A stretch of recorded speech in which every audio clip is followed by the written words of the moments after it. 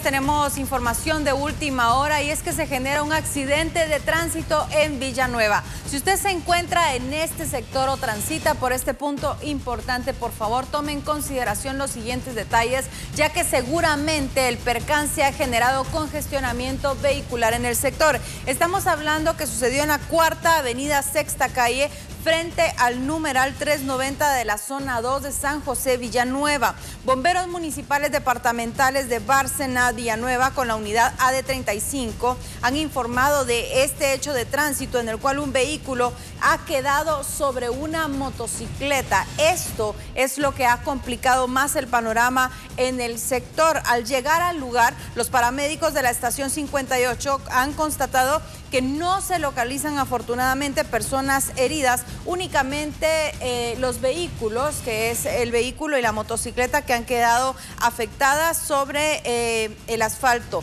Así es que extraoficialmente se conoce que esto se dio eh, mientras había un enfrentamiento entre un supuesto ladrón que estaba exigiendo sus pertenencias al piloto del vehículo blanco al intentar escapar se le lanza el vehículo para recuperar sus pertenencias. Era una batalla entre el eh, vehículo que usted ve en pantalla y eh, la motocicleta en donde presuntamente se conducía el delincuente quien le había robado sus pertenencias y él intenta entonces al momento de observar que el ladrón se escapaba, presunto ladrón, pues eh, alcanzarle para así recuperar sus pertenencias. El piloto de la motocicleta escapó del lugar a pie y los vehículos quedaron en la dirección antes mencionada y se desconoce el paradero del piloto de la motocicleta que quedó en el lugar, la cual es color negro con placas M287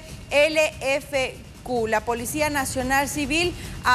eh, se encuentra en el lugar realizando las investigaciones que corresponden, ya que la evidencia ha quedado en el lugar, como usted puede observar, debajo del vehículo. Quedó precisamente la motocicleta negra, la cual supuestamente era conducida por la persona que había arrebatado las pertenencias al piloto que conducía el vehículo que usted ve en su pantalla, el vehículo blanco. Agradecemos a Noti San José de Villanueva por esta información, la cual le estamos trasladando cuando son las 8 de